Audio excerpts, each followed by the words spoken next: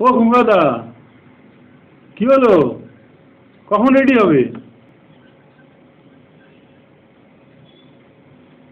আরে কখন থেকে বলে যাচ্ছেন হয়ে যাবে হয়ে যাবে? কখন হবে? হ্যাঁ? টেস্ট করার লোক যে কোনো সময় চলে আসতে পারে।